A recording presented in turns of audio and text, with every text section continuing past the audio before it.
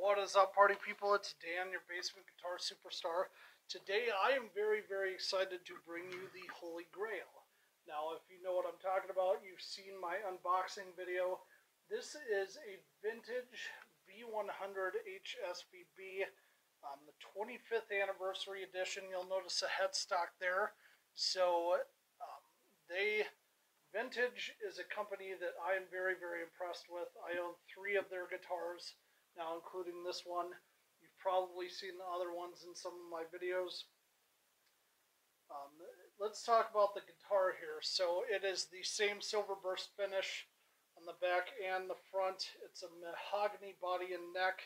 It's got that little groove in the back here. So if you want to play leads, you can. I usually don't because I'm more of a rhythm player. It's got a double ivory binding here, if you guys noticed that. Very, very awesome. Um, Wilkinson ceramic dual humbuckers here. Got your uh, two volume, two tone knobs. They're not coil split on these guys. Notice your bound ivory fretboard here. You got your pearloid inlays. And These actually do not have Wilkinson tuners on them. They have Grover 14 to 1 tuners on them, which I thought was kind of interesting. Still great hardware. I love Grover stuff. Everything they do is awesome that I've seen so far. But uh, yeah, we will plug this guy in, show you how it sounds.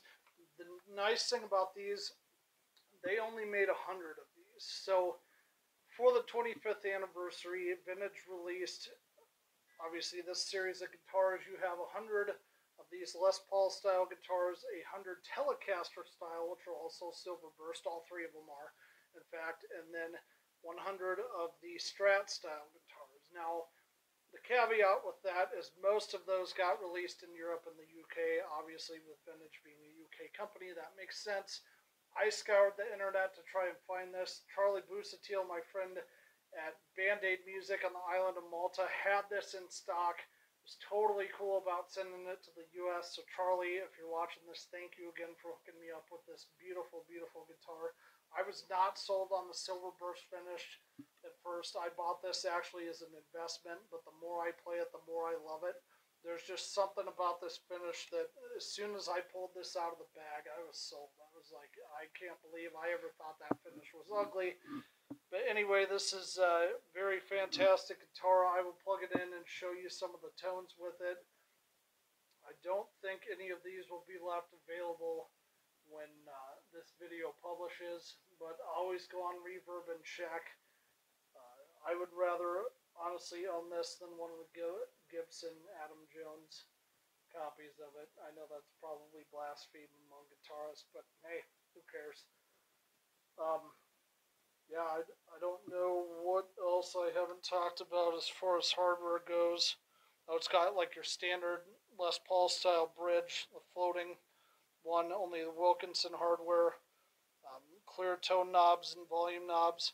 Here, got your rhythm, treble, and middle circuit there. So anyway, let's plug this guy in. I'll show you how it sounds. I'm going to be playing through a Traynor YCV40 valve amp like I always do. It's my go-to amp. I absolutely love the way it sounds. For distortion, I'm going to be, I think I'm going to use the Warbird, which is the new uh, uh, volume boost pedal from my buddy Danny Kreider over at Noise Pollution Pedals. Give you an idea how that one sounds. I will actually be doing a separate preview video of that, but we're going to hook that one up and show you how it sounds with that as the distortion pedal.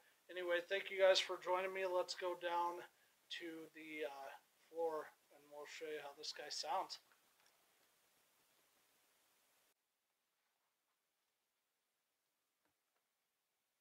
All right, folks, thanks for joining me down to the floor here. We got the uh, uh, Silver Burst all tuned up and ready to go. Let's give you some clean tones.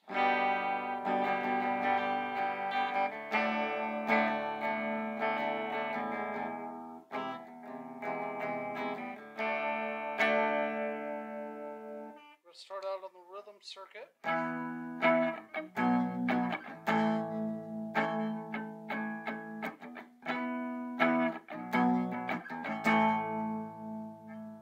Let's try a little boost on for good measure. On the Warbird, I have have on the boost side, I have everything set at noon. Same thing with the overdrive side. Um, we are not going to mess with it too much at first. I'm just going to turn the boost on.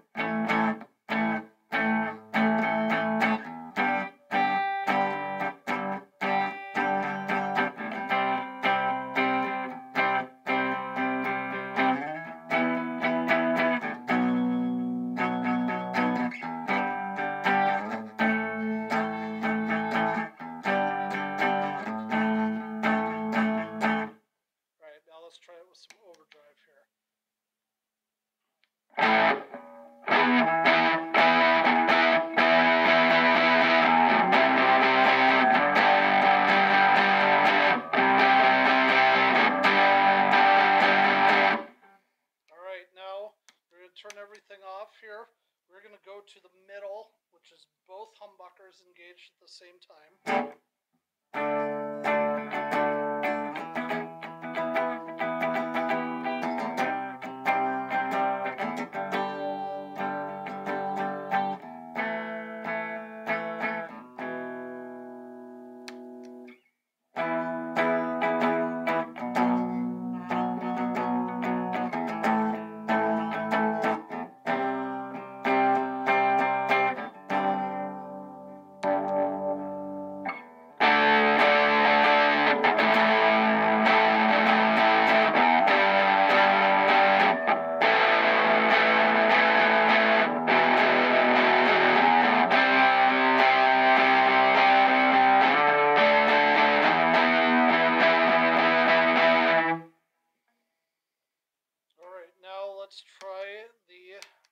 Circuit by itself.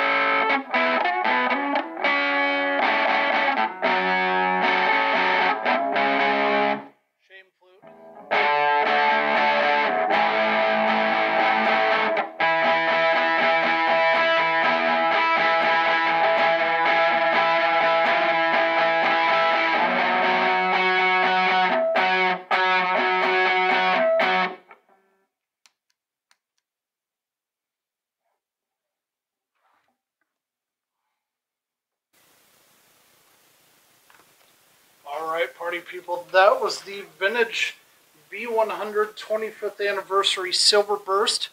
Let's talk about what my final thoughts are on this guitar. I obviously love it. You could probably tell by my guitar face while I was playing.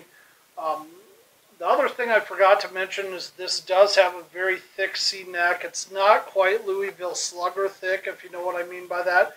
Um, but it's kind of your standard profile. If any of you are familiar with the vintage lineup of guitars, the V100s usually have a pretty thick neck on them, and this is no exception. It might be just a skosh thinner than those. I'd have to check. I can't tell just by looking. I have a Black Beauty sitting over there. But anyway, I really love this guitar. Um, I'm going to give this probably a 9.2 out of 10. Um, the finish, like I said, blew me away in person. I thought it was uglier than sin when I looked at it online, but it's a really beautiful guitar. I'm really bonding with it big time. I actually I own three vintage Les Paul style guitars now. This the V100 PBB, which I did a video of. I'll post in the description below, and then a V100 Ice T Burst Les Paul style guitar. I love all of them. I'll probably pick up a Strat and some other ones too, but uh, to me, vintage can do no wrong. Trevor Wilkinson is an amazing designer as far as hardware and pickups go. You guys saw that. This had a nice, clean, crunchy, mid-rangey tone to it. Uh, hopefully you'll agree with me on that. Post in the comments below what you think of these guitars. I know there are going to be some Gibson snobs out there that are like, well, it's not a Gibson, so it sucks. You're always going to have your critics. But I love this guitar. I will never get rid of this. I bought it as an investment, but I'm playing it a lot more than I thought I was going to. Um, but yeah, I, I'm trying to keep it as mint as possible, but I also, it's kind of my go-to guitar that I pick up when I'm at my house. So anyway, guys, thank you as always for joining. Like I said, I'm giving this guitar a 9.2 out of 10. I absolutely love it. And if by some act of God you can get a hold of one, I think you will too. As always, thank you for watching. If you enjoyed this video, go ahead and hit the like and subscribe button. Hit the little bell symbol for me so you know when I have new content coming up. It helps me grow the channel and get in front of more people here and on Instagram and several other places too. And I'm trying to grow as much as possible, just like everybody else is. So anyway, guys, leave me a comment below. Let me know what you think. Did you like the video? Did you not like it? What can I change? What can I do better? Etc. Etc. As always, thank you so much for watching and have fun playing.